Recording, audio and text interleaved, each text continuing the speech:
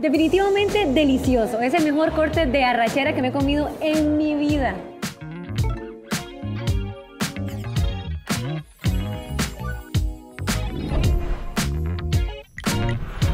Seguimos en nuestro tour en el Centro Gastronómico Oxígeno, donde pueden encontrar una variedad de opciones riquísimas y súper diferentes para todos aquellos amantes de la buena comida. Hoy estamos en Frida Kahlo, donde el auténtico sabor mexicano se ve en cada platillo. Vamos a conocerlo.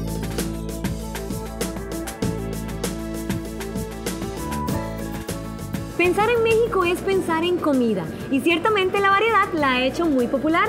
Frida Kahlo nos presenta un abanico sobresaliente de esta gran gastronomía con ingredientes típicos y un toque de autor, donde el chef es capaz de expresar su propio estilo y una propuesta única, personal y creativa.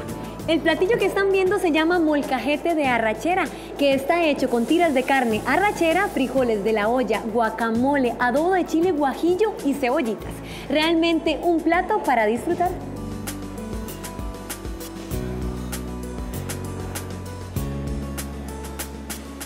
Gracias. Esto se ve buenísimo, ¿verdad?